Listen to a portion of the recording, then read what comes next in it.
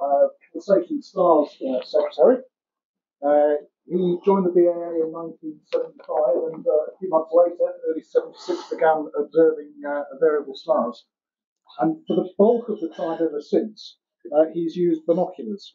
And there's a very fine photograph, uh, as you um, saw earlier, of, of Shaun with his, I think that's a 20 by 20 by 80s, 20 yeah. by 80 binoculars. So uh, Shaun has a very extensive observation program. It just shows you what is possible with, uh, with, with binoculars.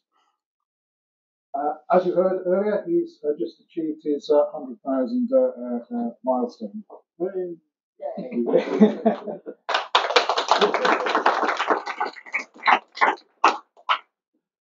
um, I think, Shaun, you have a special interest in semi-regular stars. Mhm. This morning, you're going to be speaking about uh, Mira variables. Mhm. Give us a short overview of Mira variables. So, Shaun, over to you. Thank you. Mira variables are the longest observed class of star from which we can study their long-term uh, trends and behaviour. They're easy to observe uh, and monitor due to their having some of the largest ranges in amplitude of all variables. Hundreds of them are literally visible in 6 8 inch telescopes. Uh, and many can be observed with binoculars when or near maximum, and there are a few with larger binoculars, for example, uh, Omega, uh, Omicron Ceti and T that you can observe through their entire range. It was a great shame, uh, really, in the 1970s, should we say, that the stars with the how can we put it? The, the ones that like to grab the headlines and uh, you know that Gary goes for, they're the the uh, CVs, and in the meantime, but not, uh, should we say, Mira variables dropped out of favour. Um, I always remember an article in the BAA journal that talked about period and where the period changes. I think it was probably in about the 1980s uh, as regards stars. Um, up to the 1970s and included stars like Arbutus, and they were dropped from the programme. And it's a shame. And when you come to the end of the talk, you'll understand why I say it's a shame. Um, I'm not going to go through stellar evolution because all I need to say is that they are highly evolved stars. Red giant phase, core hydrogen burning isn't taking place, it's shell burning of hydrogen. And yes, you can occasionally have a helium flash, but I'm not going to go into the physics. I shall leave that to other people. But they undergo self sustaining pulsations over long periods, usually within 80 as a minimum and up to normally about 800 as a maximum. Uh, the stars expand and contract, and combined with this changes in temperature and concentrations of dust and other material means that to the native to visual observers there can be up to 10 magnitudes of variation in a star. Just for the record, in infrared, this is less for the simple reason that dust doesn't uh, absorb the light as much in infrared, so therefore the range is smaller. So this short talk is not only the slightest, nothing about the slightest about physics. What we're going to do is we're going to have a look at lots of plots. I would like to thank, I would like to mention the AAVSO for some of the the plots that I've got at the end, and also a Swedish gentleman by the name of Thomas Karlsson, whose absolute incredible work in publishing O minus C values. And what I've done, it doesn't just do O minus C, he actually does the shows how periods have changed. And I think that makes it easier to understand than, than O minus C. Now, when stars tend to have a very short period, for example, here is X Cam, which incidentally is the brightest K spectral Mira variable in the sky. It's K when it's brightest, it's red, it's an M star when it's faintest. And as you can see, um, it's over 143 days roughly, and this is a very symmetrical light curve. In other words, if you turned it on its head, it would almost practically look the same. because it takes 49% of its time to, from bottom to top and it takes 51% from top to bottom. So the star is symmetrical in its um, in, in its shape. Um, yes, it does vary, as you can see. Sometimes it drops below, and I'm trying to read it, but it goes up magnitude eight. And I think, John, you put a little, you, yeah, you said it's the brightest you've seen you, you, you, in 40 years. So actually, um, this is as you go up here. This is this is actually in the 19. This is the 1980s um, when we had a few more observations, but just shows the broad range. The shortest one we have on our program as such at the moment um, fully is this one, and that's S, S Hercules, which goes through its phase uh, in 114 days. So you get over three periods in one year. Again, exceedingly symmetrical, 48% or 55 days to go up, and then 52% of the time to come down. Um, we do have gaps because of Hercules. Obviously, doesn't lie that far away from the um, from the uh, from, the sun at certain times of year. So therefore, we do get, get gaps in observations. As the period increases, so the shape of the curve and different characteristics change and gradually they become more complex, as you will see. So if we go to the next one, I just want to show you, obviously, uh, Omicron Cetus or Mira. Um, and this shows you a typical thing. Again, this is in the 1970s.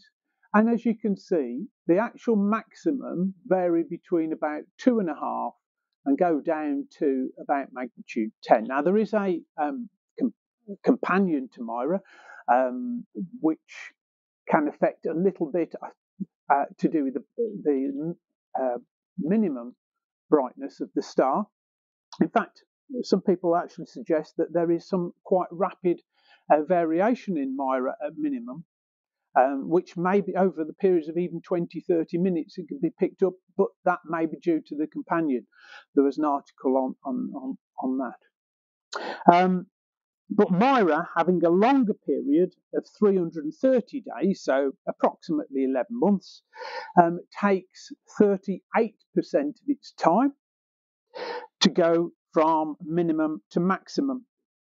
So as you can see, you get not only do you get a sharper rise, but if you look, you also get differences in the shape of the star at maximum. Sometimes it can be fainter but have a broad maximum, whereas other times it has a very sharp maximum. Um, so there are different characteristics that you start to get into the system. One of my favourite stars is the next one, which is T-UMA. Um, and that's because it does have quite large ranges. So as you can see, it can reach magnitude 6 and at other times, and it can drop down to magnitude 14. But on other times, you have a minimum of practically 12. Or, as has just happened, the faintest minimum of about maximum, sorry, of 9.19.2. So T-UMA has, in the last few years, has had a very bright minimum and a very faint maximum. Um, and this was a very bright maximum here. We've had one or two, as you can see. Um, another excellent star to follow and easy to find is R And. This has a very large range um, between about 14 and a half up to, and I think I'm trying to read it there, perhaps somebody can at the angle that I can't. About It's about six. It can go up to about six, seven, seven in magnitude. But it's a very nice star to follow. Um, and has, has some variation in its in its maximum and minimum. It is a longer period of 409 days. Um, the next star I would like to go is the one that perhaps a lot of this one is one that was dropped and I've reintroduced it. And perhaps you can understand why I wanted to introduce it. Because the star has variation in its light curve. In other words, yes, the star goes seems to go through periods of large a larger range, and at other periods it has a shorter range. And at the moment, for the last few maximum, SCFI has had a reduce starting to go through a period where it's got a, a, a shorter range between maximum and minimum. You add to that, there appears to be a general underlying curve to it, it's like a secondary period that's uh, taking place in that particular star. Um, the next one is one that is very well observed, and it's uh, Chi Cygni. Uh, again, famous because of it can be a very obvious star at certain maximum when it can reach about magnitude 3. Uh, it does drop down to magnitude 14. That's 11 magnitudes in range. So you can go from naked eye to an 8, 10, 10 inch telescope that's needed to observe it.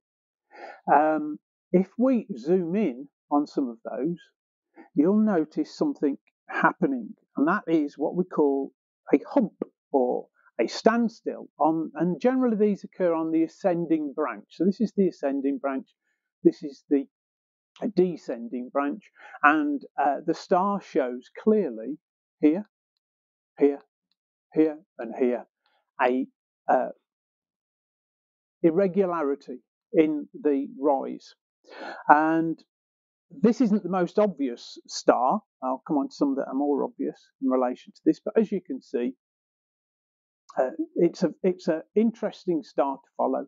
At the moment, it's fading down from a maximum. Um, it's probably about magnitude eight, not nine, something like that, I think.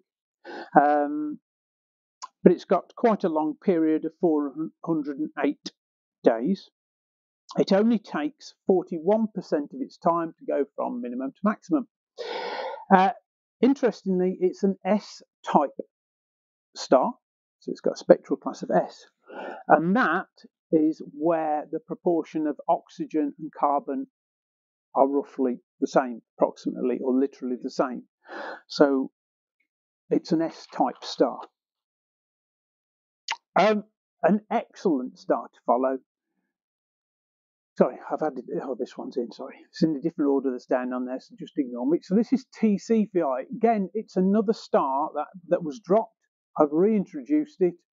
Um, and there are observations of T Cephei. Now, this is one of those stars that for a lot of the time you can actually follow with a, a pair of binoculars uh, because it reaches above magnitude 6 and can go down to roughly about 10 and a half. Um, so it's another star that's worth following. It's circumpolar, uh, the same with T Uma. So you can follow these uh, 12 months of the year. So no gaps when we look at it closely, with the previous star, you've got a very small little um, dip.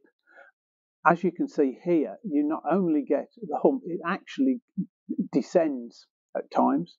So you can actually, you can, if you look at the photometric observations, although in general, uh, photometric observations will be brighter than visual by an, a small amount, and also that will have a bigger gap usually when it's towards minimum, and that's because of the colour of the star. The stars, Mira star variables are more red at minimum. When you start to come towards a bright maximum, depending on the spectral class, you can actually have them about the same, or even occasionally the visual estimates are brighter.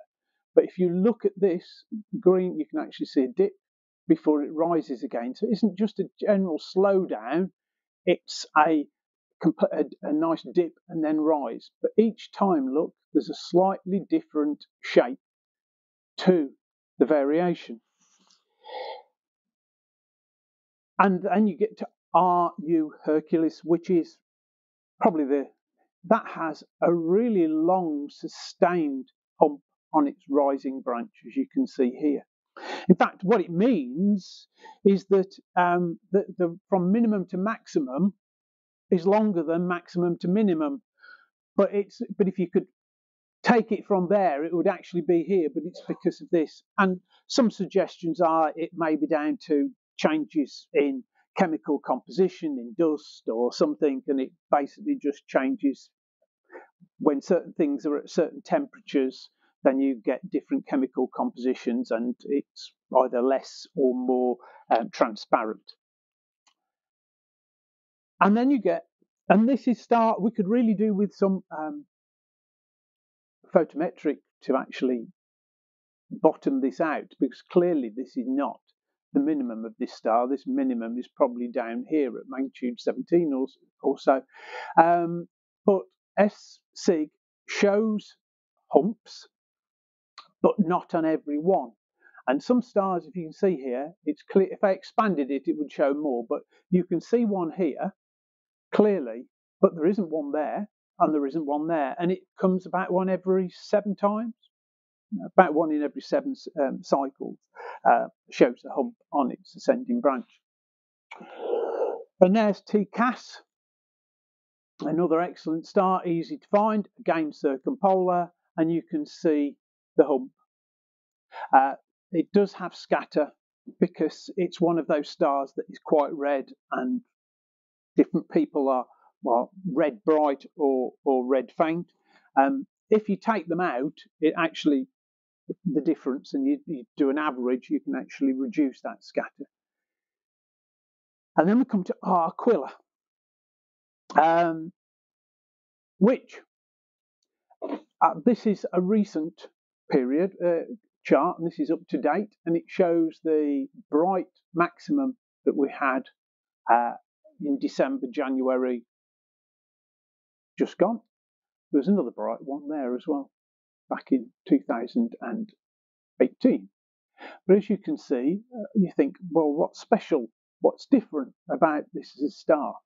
Well, now, if we look back to 1910 to 1915, if you look across the bottom, oops, sorry, if you look across the bottom here and you try to work out, you go, oh, that, and that's longer. And in fact, if you then do some period analysis, and this is just to show you what this is this is just a, a, a, a, scattering of a few of them. So what we've basically got down here is we've got Omicron Cetus, and as you can see, so this is going back to 1600 roughly.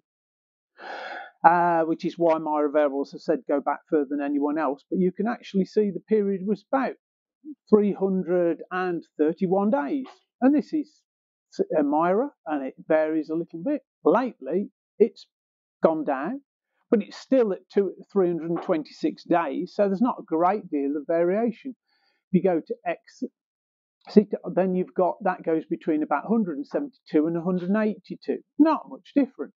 Now we look at R Aquila, and as you can see from there, this has dropped from 300 and uh, trying to see 10, 20, 30, 60 is it? About 360 something days, right down to 270 days over the period of time from there to there. That is a huge change in a Mira variable, but it's not the biggest. Let's take a look at this star, which is, oh, I know this is a very difficult one for us to observe because R Hydra. It is um, it's a low latitude from this country. So if you go back to the 1920s, 1910s, there were some people submitting estimates to the BAA from uh, India, etc. So, but I've gone to the AAVSO and I'm going to uh, try and speed up so we don't go over.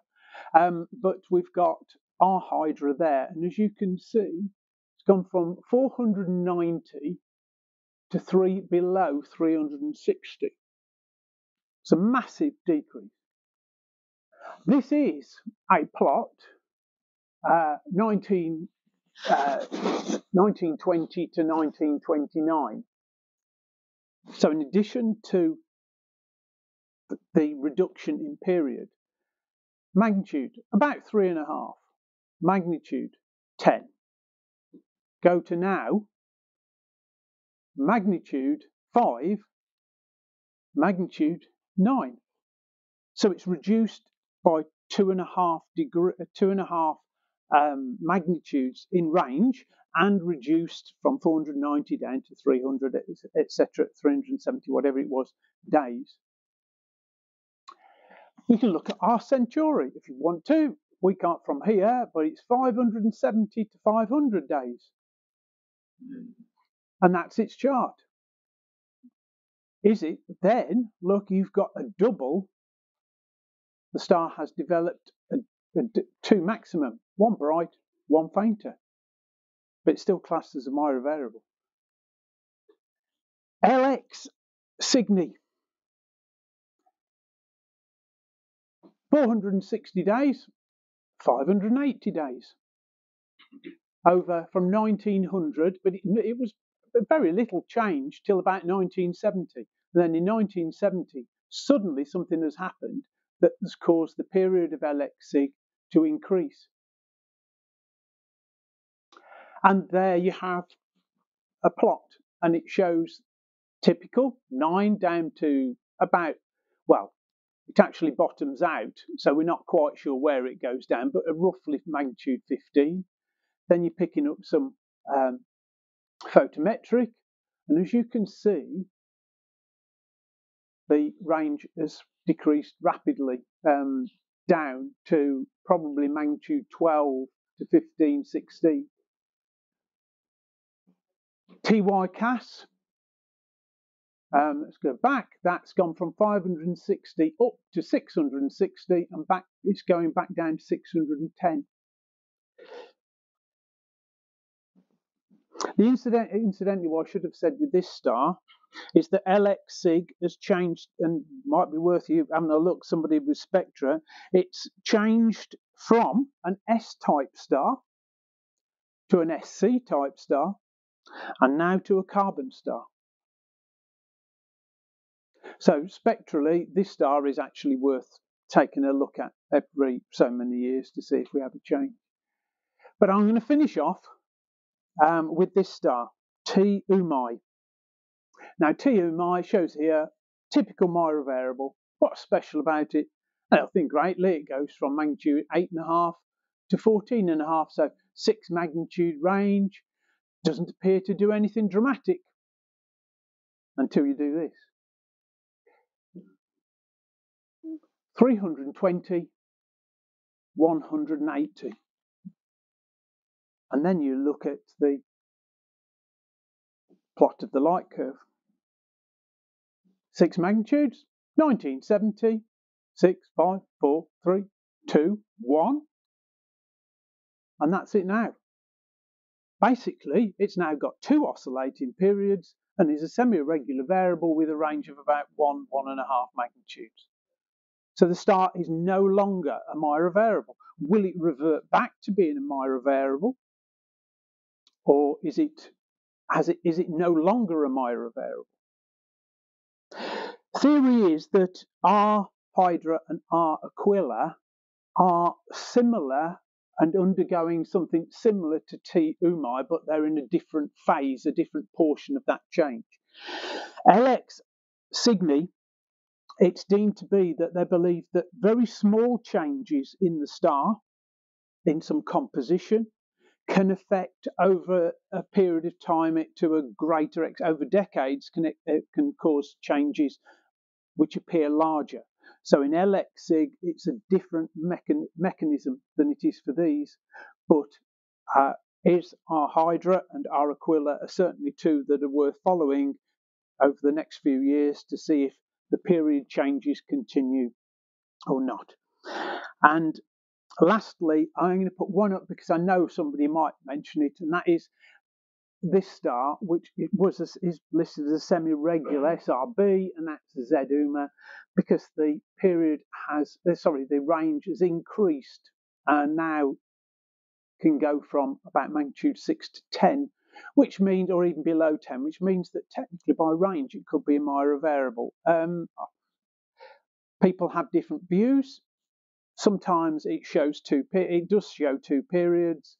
Uh, whether it is a, a Mira variable or not, or not, I don't know.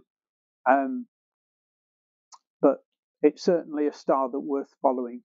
And my final thing and request is that if you observe, and they don't necessarily need to be our stars, but if you, for example, observe UGEM, then why don't you take a look twice a month at S and T gem that happen to be very close by?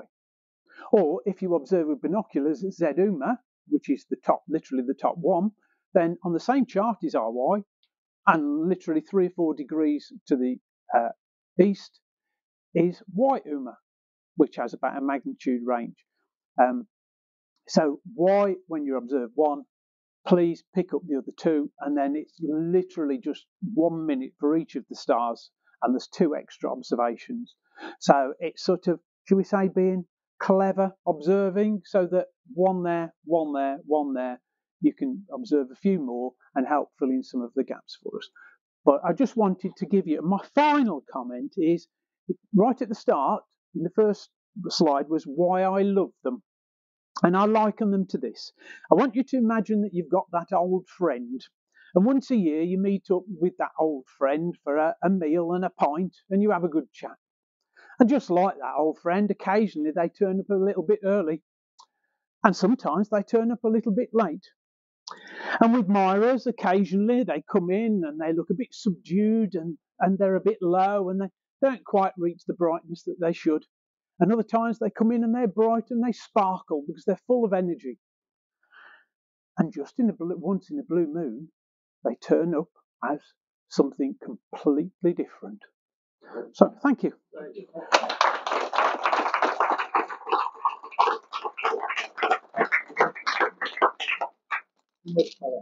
I know, right? That's the. David, seems to be a correlation in some of the between the amplitude and the length of the period. Yes. As the amplitude decreases, the period shows that. What? Yeah, but if you look at LX Cyg, it did the opposite. Right. The period increased, but the amplitude decreased. Right. But as I say, that's a different mechanism. In the case of T UMi, R Aquila, and R Hydra, yes, it appears to be what you've just said. So, which is why those two in particular, and it's worth following the others to other stars over long periods of time, because if we start to pick up on those on the range decreasing or the period decreasing, that's what we need to look at.